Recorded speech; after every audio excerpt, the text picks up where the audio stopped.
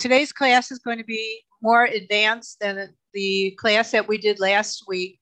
And it's really not a class, it's more of a demonstration. Um, but Excel is a very powerful uh, thing. So after we go over a number of things, there are still many, many more things that you can learn from Excel. What I'm going to be doing is doing a quick review of what we did last week. Uh, I'm not going to spend a lot of time on it, but um, just to give you an idea, because I want you to see how different the information is that we're going to use tonight than was used last week. We're going to be doing some work with lists, and um, I'm going to show you how to sort them, filter them, take subtotals, and actually turn them into pivot tables. And then we're going to do some stuff with um, what if analysis, um, and that's a, a, great little tool if you're trying to um, change some information without really changing it. And you'll see what I mean when I, we get there. And then um, we're going to talk about, um, I'm going to uh, show you a, a, sample budget and something that you can actually do with it uh, um, also. And that is also a what if analysis. That probably, bullet could have probably been indented, but that'll be okay. And then um, I'm going to show you some of the logical functions that um, we have in Excel. And there's over 300 of them. And most people don't know all of them, but if you work a job that has some very specific ones, they will probably show you how to use them. So for a copy of today's files, um, if you send me an email at officeguru at gmail.com, um, I'd be glad to send them out. Just tell me um, if you know if you want the advanced file. If you also want the file from last week, I'd be glad to send that to you also. And this is um, a, a, link to the recording from the first section. So if you want, I can send you this PowerPoint and then you'll have the links in here. Otherwise, if you want to um, just jot them down, um, then um, you can you can start with the other one if you want and then go into this. Okay, so let me get our Excel up here. Okay, so last week we were talking about um, taking totals and doing, you know, doing some mathematics here. And I started by merging and centering the title. And if you have ever worked on a typewriter, you know how hard it was to get that title centered.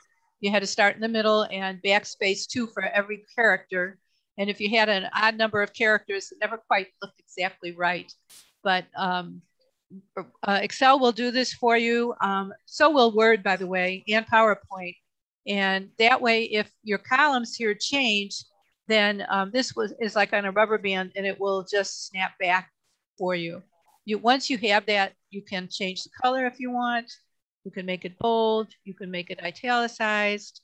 Um, you could actually underline it, but most people don't do that anymore. You can also select a range and bold it if you wish, or do whatever you want with it. So this is kind of like a pretend sheet for a manager that would have three divisions and he's got his figures for the first three quarters. And these figures might be in hundred thousands, but somewhere it would say figures are in hundred thousand, so they wouldn't have to put quite as many zeros in there. To take a total, what we did last week was we hit the auto sum button here.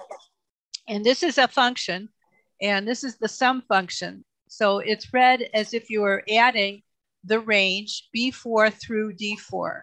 So this is going to pick up B4, C4, and D4. And then I'm going to click the check mark. But I'm also going to show you another trick that you can do when you're using equal sum is if you have a number of rows that you have to sum, you can actually select the rows first and then hit the sum button and they will all go in. So we have B4 through D4, B5 through D5, and B6 through D6. Then we'll take a grand total here. And it's a good idea to always check your range. And this is C4, E4 through E6. And I'm gonna click the check mark.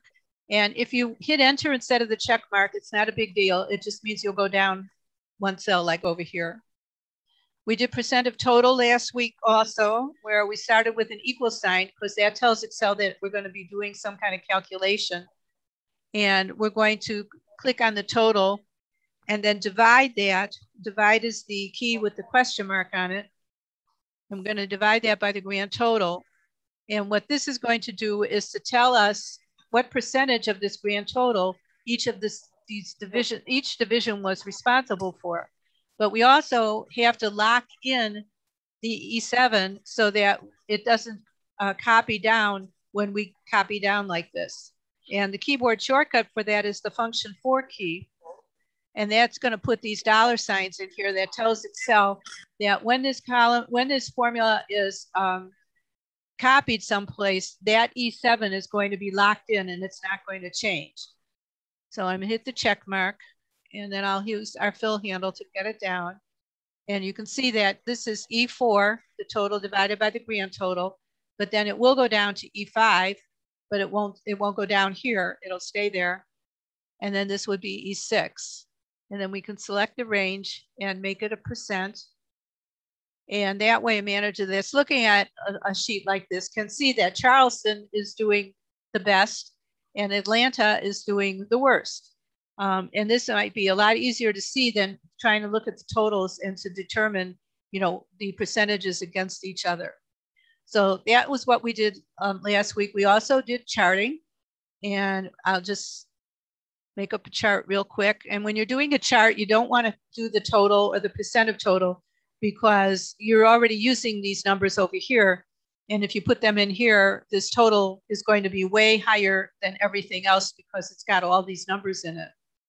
So I'm going to click on insert and then I'm going to make this a 3D column chart. And so that tells you, it gives you a visual representation. It also changes the ribbon so that there's a lot of different things that you can do on this ribbon. You can change the chart. Um, you can also uh, make a 3D map out of it. There's all, all kinds of things. And you just really kind of have to play around with it.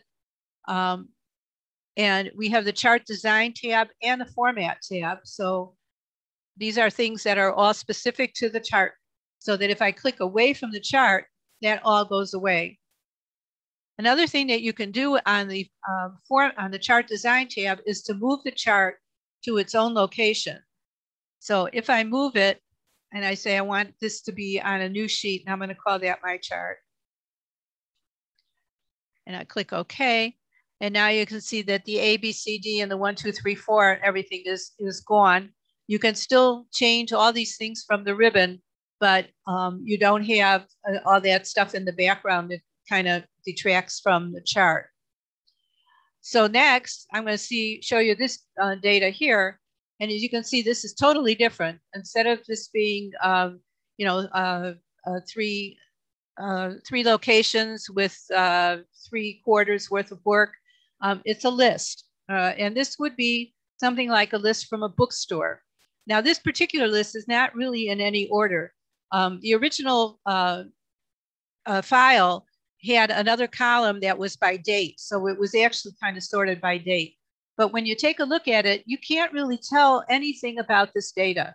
Um, you don't know if there's more than one criminal justice discipline. Um, we, well, we can see that it's here, but we don't know how many. Um, we don't know if there's more marriage and family. And within that area, we don't know, um, you know, how this shakes out. So we can't really tell much about the sales um, or the units sold. And if you owned a bookstore and you were getting a budget ready for the next year, it might be nice to know which of these things were helpful to you. So there's a few things that you can do with um, these things. And um, the first one I'm going to do is to show you how to filter. And this, uh, we're going to be using the data tab a lot tonight. So I'm going to click on the data tab and I'm going to click on filter. And the only thing you need to remember before you do that is to be in the data because if, as long as you're in the data, the filter will, will be set automatically. And once it's set, you get these cute little down arrows here. And from these down arrows, you can do some filtering. You could sort from here if you want, but I'm going to show you uh, another trick with the sort. But if you take out select all, and then let's say we just want to see what's in criminal justice, we can just check the uh, box for criminal justice, and then we can see what we have going on here. Now, this does not delete the data. It's just like a filter in the house. You know, it just filters out so you can see the stuff. This is the stuff that's left in the column there. Let's put it that way. And now your, your down arrow has changed to a little filter, just like the filter on the ribbon. And there's a little dot there. And so if you point to it, it tells you that the discipline was set to equal criminal justice. And you can do more than one if you want to see a couple of them. So we could do marriage and family. And then that will show us everything there. Now we could also go in here and put something else in here so that um, we could filter even more. And then that would just um, take out the other filter in the discipline because this is for marriage and family. If you're through with this, the best way to do it, well, there's a couple ways that you can do to get rid of it, but the best way to, to get rid of the filter is just hit the button here and then it goes away. So that's one thing that you can do. Another thing that you can do is to um,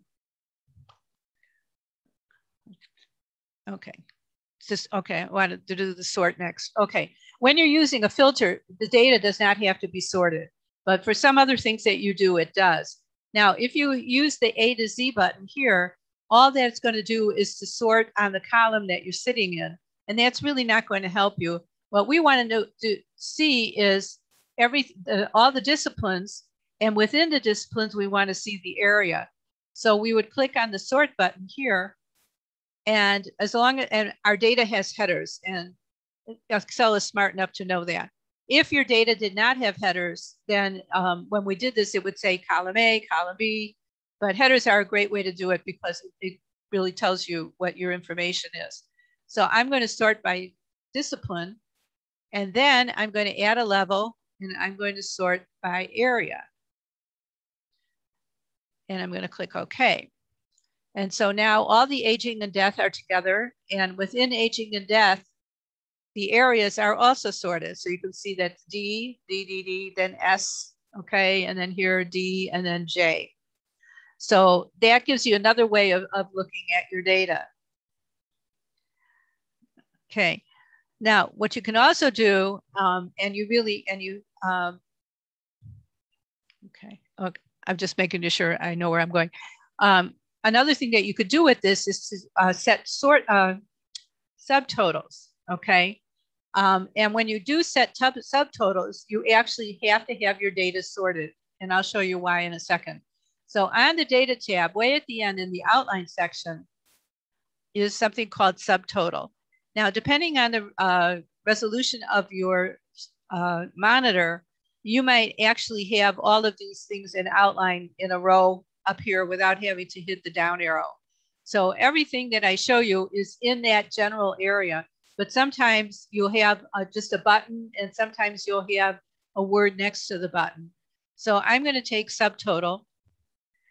And what we want is, we, we're, we're going to be using discipline. And we don't need to, but usually when you're using subtotal, Excel really guesses well as what you wanna do. So we want to say that every time the discipline changes to something else, we want to add, and we could say we want to add the sales, we could add the unit price or the unit sold, but sales is a good one because that's what they would normally do use this for. Um, and if you want to keep doing this over and over again using different things, then you can um, tell it to replace it. But if you want to do a second one, you could leave it there and then you'll have two. And we're going to put the summary before below the data. So I'm going to click OK. And here we go. And see what this does is it says, OK, um, and every time the discipline changes, well, you have aging and death, aging and death, aging and death. And then it changes to criminal justice. So it goes ahead and it dumps in a so subtotal. So down here we have the subtotal.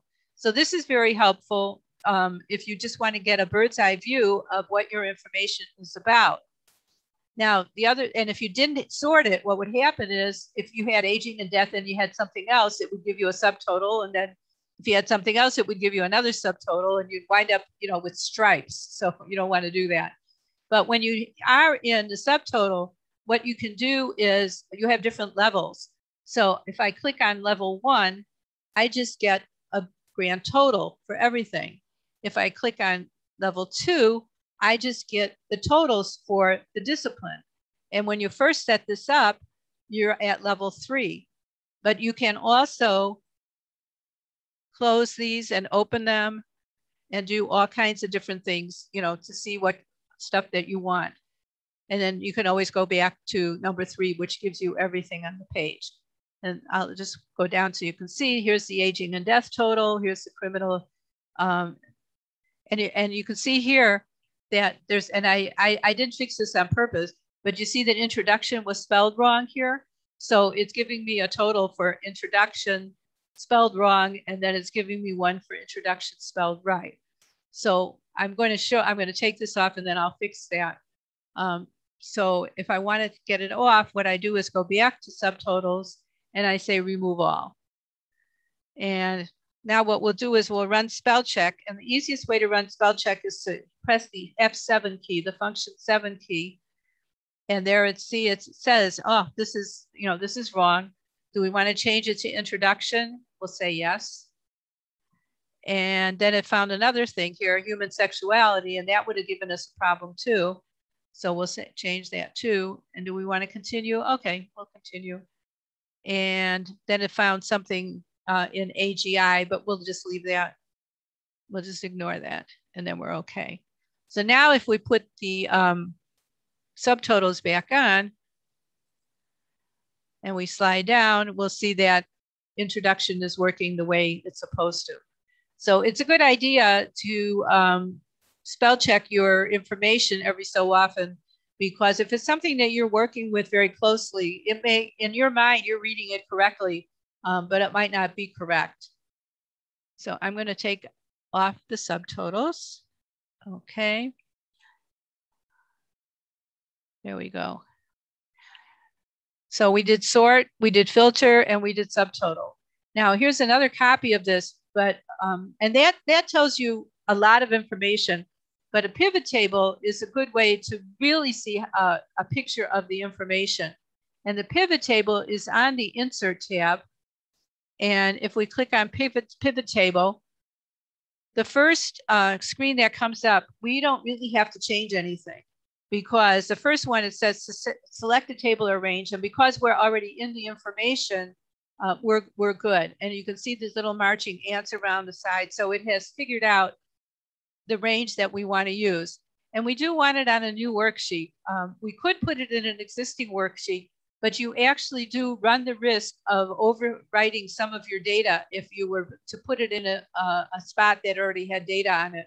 And that would definitely corrupt it. So all you have to do when you come in here is just to make sure that select the table or range and new worksheet and click OK. And now we have a new worksheet down here. And what we have to do is we have to build this. All right. So let's say we want to start with discipline. And because it's a text um, field, um, Excel thinks that you want to put it down in a row. Okay. And I'll just show you what happens if you put it into a column. But I'm going to put it back because see, it went down into the row section here. And I could move it to columns. But there might be certain kinds of information that would work well with that. But most of the time, when you have a text file, or I'm um, sorry, a text row, um, it's going to look better coming down like this. So the next thing that we want to find out is because um, we're divided, you know, we have this divided into um, um, discipline is let's put units sold and unit price and sales in there. And so now what you see is we have each discipline and it tells us the number of units sold, the total price of the unit sold and the sales, which is probably the figure that people would be the most interested in. And now if I click away from this pivot table, that pivot table listing goes away, but I can always get it back by going like this. And I'll show you what happens if we put in the um, area also. Then we get, you know, an, it's more like a, a sort. Okay, but I'm going to take that out for right now. So a couple of things that you can do with this is I can double click this and change it so it doesn't say row, row labels. I can say discipline. Okay.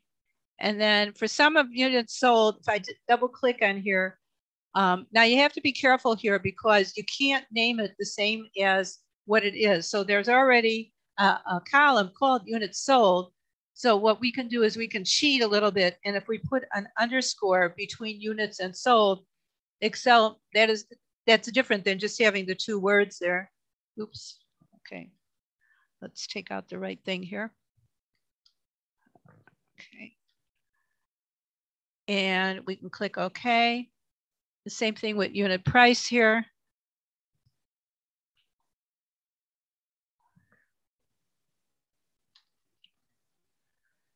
Right. And then the sum for sum of sales, this is going to be harder because there is something called sales. So we could put in total sales. And here we don't actually, I will put in the underscore just to make it even, but I wouldn't have to because they don't, there isn't a field called total sales. So besides that, there's a number of different things that we can do. Um, we can right click here and select number format. And we could say maybe we want to make this currency with two, maybe no decimals since everything is double zeros here. Okay. So now we have dollar signs here. Okay. Um, other things that we could do. Okay, not on that one. All right, let me go back in here.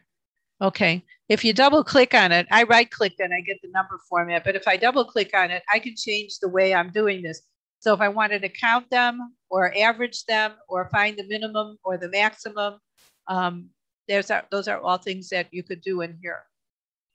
So besides that, on the design, we could make it look pretty because you have all of these different designs that you can chat, you can use. You, okay. Some of them will, will actually put the uh, lines around some of the things.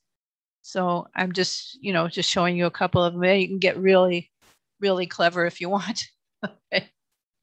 So that's a pivot table. Now you can also make a, um, a chart out of the pivot table, but sometimes um, they don't come out, they come out looking really cluttered because in this case, you know, our discipline uh, column, it's got a lot of, lot of, you know, text in it. Um, if this was something like our, uh, on the review where you had Charleston, North Dakota, you know, Israel, stuff like that, one or two words, it, it kind of looks better. But that just gives you an idea of um, how different this is than the uh, data that we had on the first tab. So what I'm going to do now is I'm going to hit this arrow because I have all these tabs here so I can't see them all. So I hit that arrow, I can go back or forward. And I'm going to talk about GoalSeek now, okay? Now GoalSeek is part of the what if analysis um, on the data tab. And um, if you've ever wanted to find a total on something and you're, you know, because you have to change, you want to change one number until your total gets to a certain point. So you multiply and then it's not up there. So you, you add something to it, you multiply again and again until you get it. And then you overshoot it. So you have to go back and use decimals. Um, so I'm this, you can use Excel to find these things really, really easy. So the first thing I'm going to do is I'm going to put a total in here this is my savings plan. Okay. And um, in 24 months, I'm planning to save $225 a month. So let's see what I would get at the end. So I'm going to put in my equal sign. Oops, wrong one. Put in my equal sign. I'm going to click on amount. I'm going to multiply, which is shift eight. There's also an asterisk on your numeric keypad if you have one. Um, so either one will work.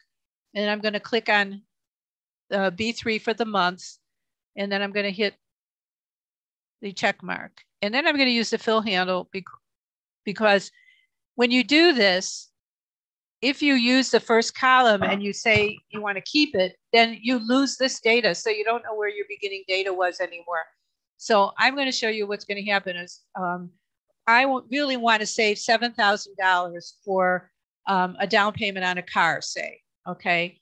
So if I'm saving $225 a month, you know, if I take a calculator, I say, okay, um, multiply it by 26, 28, 30.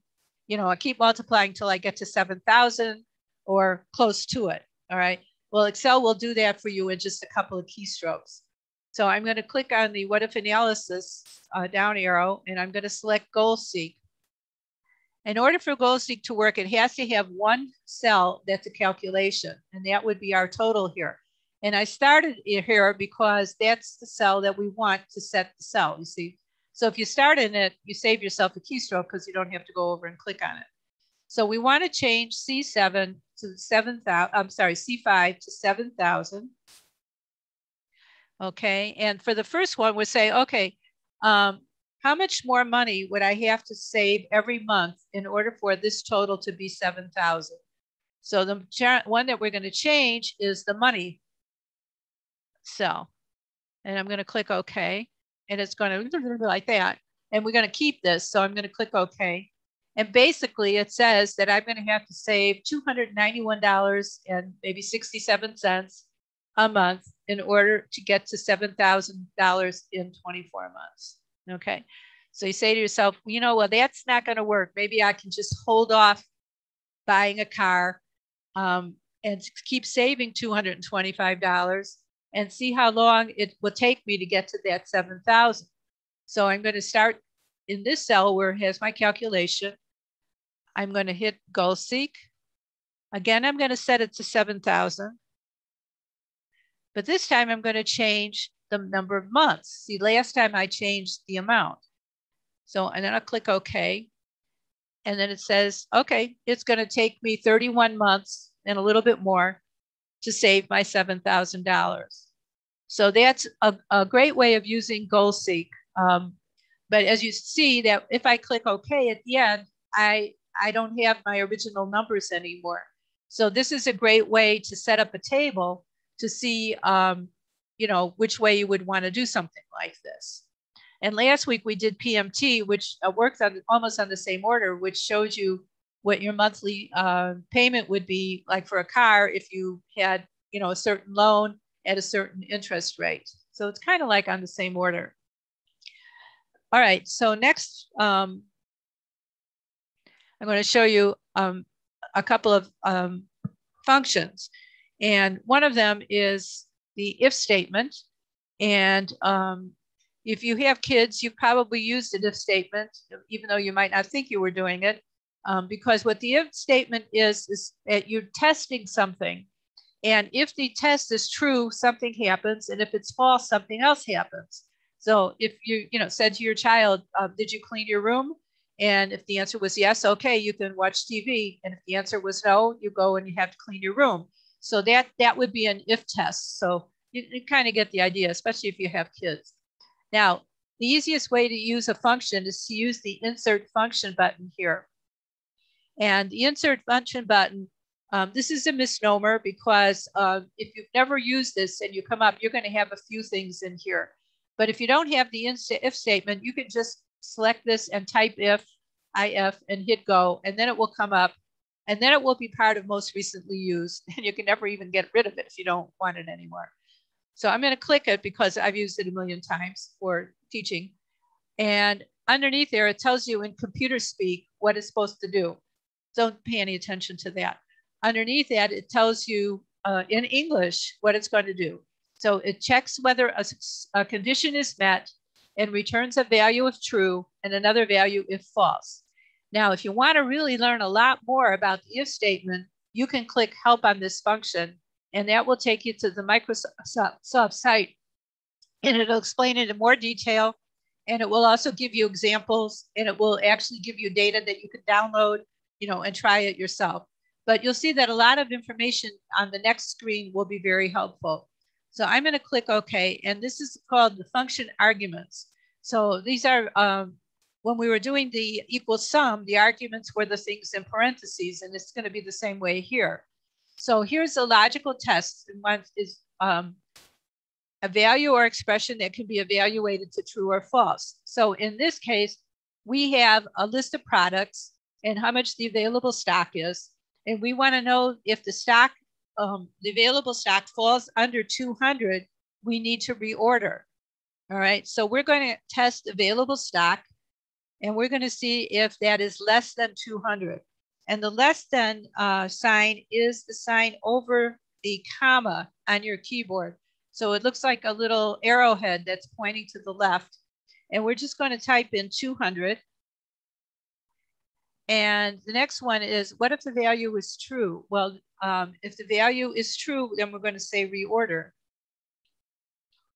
And if you're having any problems, if you do something wrong, you'll see something in red on this side. Okay, so there's no red here, and I'll show you later why, why it's important. Um, now, if we didn't have, um, if it isn't less than 200 and we don't put anything in here, what's going to happen when we copy this down is we're going to get the word false. But what we might want is not to have anything in here. And the easy, and if we hit the double quote two times, that tells Excel that if the value is false, just leave the cell blank. So, and we only have to do this on the first one, and I'll click OK. And then we use the fill handle, this little uh, square wart in the lower left-hand corner. Your mouse pointer is a skinny plus when it's on it. And I'm just gonna drag down. And it says, okay, so we know that these three products have to be reordered. And if here's a stock that's over 200, but say this one goes down to 55, then it would automatically snap in there. And say that this one was 201, and now we don't have to order it. So you can do all kinds of things. Uh, uh, there's an unlimited amount of things that you can you do with an if statement.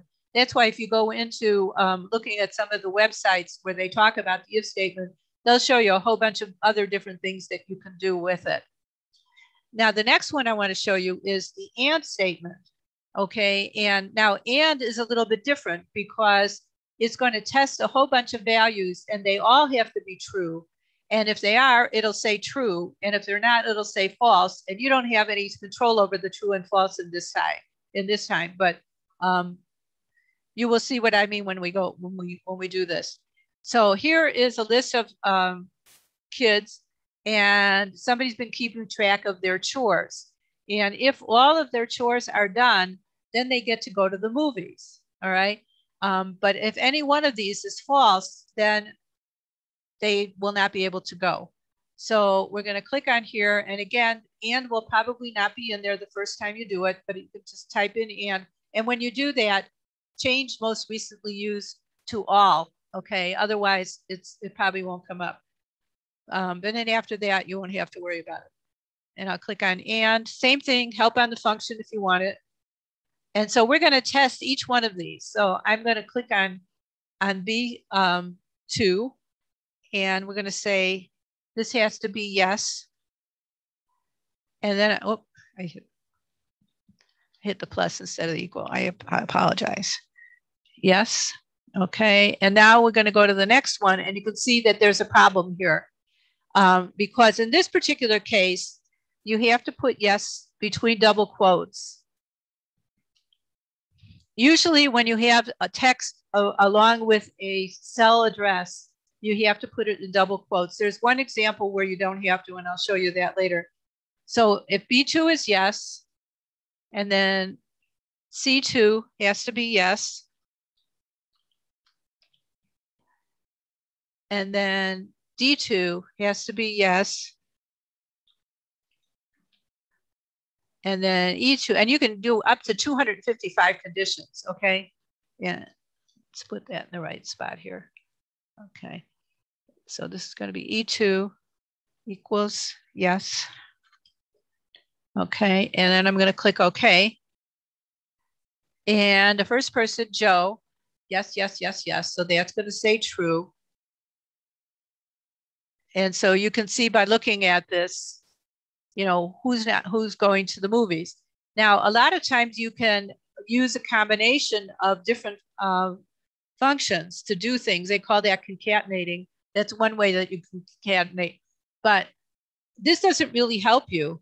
But watch what we can do with the if statement. Now, you could put these two together, but I'm not doing that because I want you to be able to see what the logic is here. So what we're going to say here is we're going to test this cell. And it we're going to see whether it says true. So I'm going to here, and now here's where, because true is already a function, you don't actually have to put the double quotes there because it's really part of, it's part of the answer to the other one. So if the value is true, what we want is the name of the person. So we're going to put the cell with that has his name. And if the value is false, we don't want to have anything. So we'll just do the double quotes and then we'll just copy it down.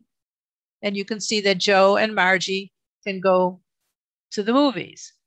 So if Sandy comes back and says, you know, I did dry the dishes, you forgot to put this as yes, and we can change this to yes. And then now that's all true. So Sandy comes in there. So there's all kinds of combinations that you can do. Um, when I was doing this on, on a job, I and I had to do two or three of these. I didn't put them together because then you have to really worry about where your parentheses are. You know, because if you have more than one, you have to make sure that every left paren has a right paren after it. And uh, until you get to the point where you've been programming for a long, long time, um, it, it, it can be it can be very difficult. Excel give you an error message and you're not exactly sure what happened. Okay, but those are some of the functions. Now uh, concatenate. Um, we used to do this by hand, uh, and real concatenate is um, when you want to take the things that are in two or more columns and put them together. And that's a function also. And it says join several text strings into one text string. And so what we want here, and this, this by the way, this happened to me at work. Um, I came into work one day and um, my boss was there and he was like falling asleep. And it's like, what, you know, you look tired. What happened? Oh, I, I, I was here until 9.30 last night. Um, we were doing this special program and we needed a list of everybody in the company. And it came down from the mainframe first name, last name, and we needed it last name, first name. And I stayed here and I typed the whole thing, uh, 155 people, by the way, um, from scratch. And I, I start laughing. And I'm like, you know, if you would, if I would have known that, I could have done this for you in five minutes. And he's like, oh, I said, yeah, well, you hired me to, to support Excel, so you should should really use me. All right. So what we want here is Smith, comma John. So I'm going to click on Smith now, the trick here is that you are responsible for the punctuation. So after we have Smith, we want a comma and a space. And then after that, we want the first name. And we'll click OK. And then we'll select it down and we have everything there. So now I had something else on the list that, um, but I don't have. Let's see if I can do that with something else. Okay. And since we have some time, I wanted to show you something else. Let's say, and I don't, I don't have my budget here, but let's say we have a job and well, let's, let's do this. Okay. So we have January. This is a budget It's going to be a really small budget for January, February, and March. And on the job, we make $100 here. It's a part-time job, and 200 here, and 250 here. And now for our expenses, we have rent and transportation and utilities. Okay.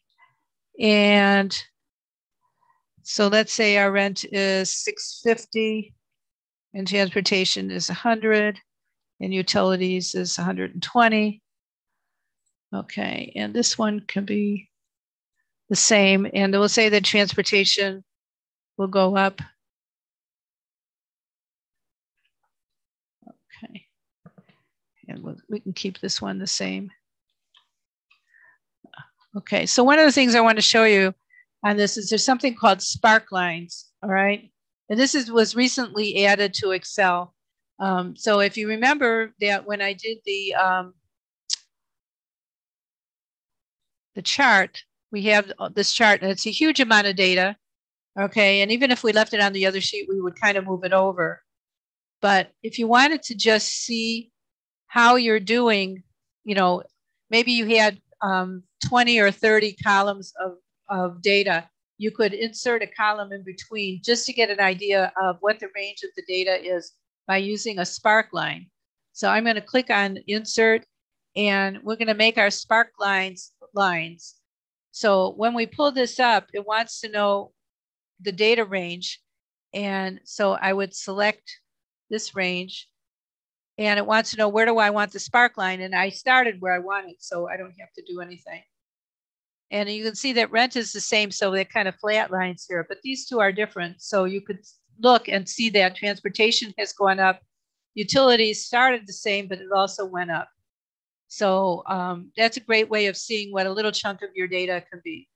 So now if our to we total our expenses, let me just, okay, and I'm going to do this and use this. Okay, and then our net worth here, net income. Net income is going to be your Okay, let's let's change this before we do this. Otherwise, we're going to come out in the in the red here. Okay, 1100, 1200, 1250. Okay, and our net income is going to be our our total income minus our total expenses. All right. Okay.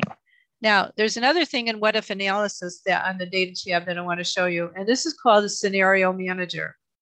And what we can do is say you this, you know, obviously this is a very small budget, but say you have you have a budget laid out similar to this, and you get um, you have a, uh, two job offers, and you don't know which one to take because you don't, and you want to see how it's going to affect you. So you could use the uh, scenario manager to set this up. So let's say that the first one, this is going to be job one. And job one is going to be different salary. Salary is going to increase. Okay. So I'm going to say um, your salary is going to increase. And then um, if you take this job and you're going to move, your transportation is going to go up and your utilities are going to go up. All right. So we're going to click OK. And with the new job, instead of making 1250, you're going to be making, say, 1500. And then your um, transportation, because you're a little farther from work, is going to be 155 a month. And then your utilities are, let's say they're going to go down. Um, maybe uh, you were living on a first floor and you had no light no, you know, no sunlight. And now you're on a third floor and it's going to be really sunny. And so you think it's going to go down to be 100. Okay. So that's job one. Now, job two, you have these two possible jobs. So we'll call this one job two. Two. Okay. And job two, you're going to change, your salary is also going up. Okay. And this time your rent is going to go up and your transportation is going to go up and your utilities are going to go up. But you're going to get a huge raise here. So you want to see how, how this is going to work. Okay, so for this is going to, you're now going to be making 1500 and all of these are going to go up just a little bit. So we'll say that this is going to go up to 665 and this is going to go up to 130 and this is going to go up to 135. Okay. And these are figures that you would have kind of gone around with already. So you have some idea. Okay, so let's get, let's take out one of those zeros so we don't. All right, so you have these two jobs. So now what we're going to do is run a summary on them. Okay, and we want to, uh, and we want to see how is, how are these changes going to affect the net income? So here's what you get. You get a scenario summary. Now, what you can do when you're doing this yourself is I could put, I could just type in what D2 is. This is, this is job, okay? All right, I don't remember what the rest of them are, but you know, rent, utilities, and transportation. So this is the current values. Now on job one, and this is your, your resulting cell. So on job one, if our salary goes up and these two items go up, um, we're still going to make more money at the end because we had got such a big raise on this one. Okay. And we had the same raise on this one, but the, um, the expenses were totally different. So right now, our take home uh, after we pay everything off is $350. If we take job one, it's going to be 595. And if we took job two, it would be 570. So this is a great way of comparing, you know, to if you were going to move, how your, your expenses would change. Um, and it's called um, scenario manager. Okay, so we've done goal seek and we've done scenario manager. So that is everything that I have for you today. Um, are there any questions?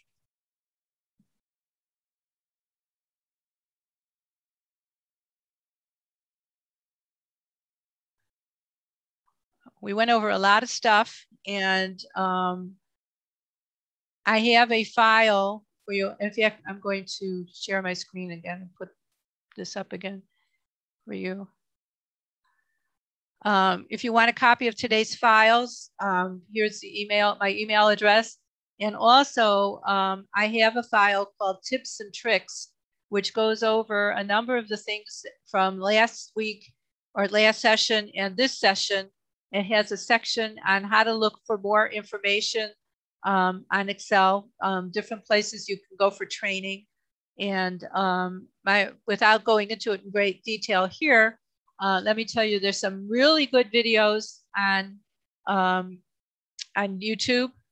And what I'm using is Excel 365. But if you have an earlier version of Excel, except for the spark lines, everything else that I did tonight would actually work for you there. So question, anybody?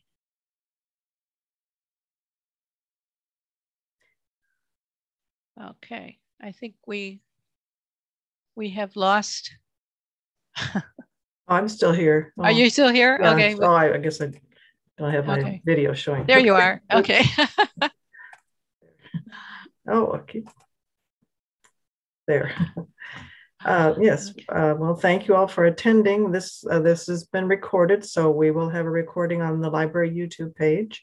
And I hope that you follow up with Susan because uh, she has a lot of information to offer. So uh, it was very uh, informative, Susan. Thank you. You're welcome. Have a good evening, everybody.